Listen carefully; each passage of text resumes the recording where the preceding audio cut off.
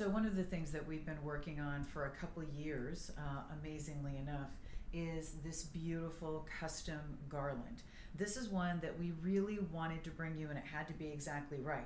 Now, when we first started using these lights, the lights that come on the stars in the sky tree, um, they're beautiful, they're high end, and I would just put them along the front of a garland, and it was so full and so gorgeous, and I loved that look. So, the challenge was finding someone who could pre light a garland to look that full.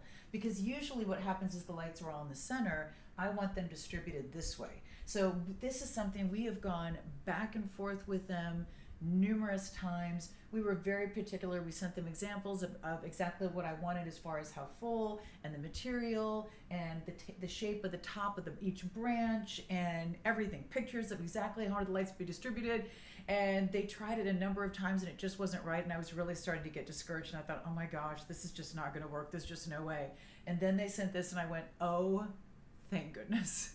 So this is beautiful this is a pre-lit garland it's going to be nine feet long all of these lights come on it now these are a very very high-end light these are some of the most expensive lights you can get when it comes to Christmas. These are also lights that are so sturdy that you can step on them and they will not break. If you leave them on eight hours a night, two months a year, it will last 108 years.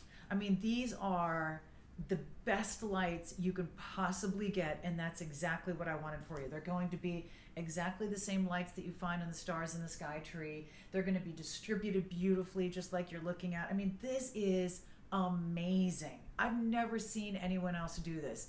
And one of the things that I find interesting is that when I've looked at really high-end garlands before, um, all of the all of the materials that they put the money into were the branches and the leaves.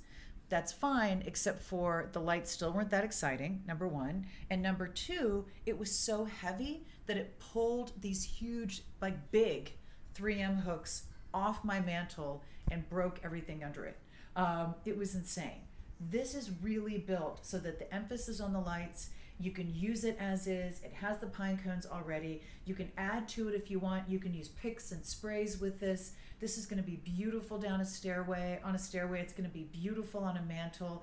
It is just absolutely the most gorgeous garland I've ever seen. And I am so excited that we finally have it for you. It took us a long time, but it was absolutely worth the wait. So now, all of you who've been saying, do you have a garland to match the tree?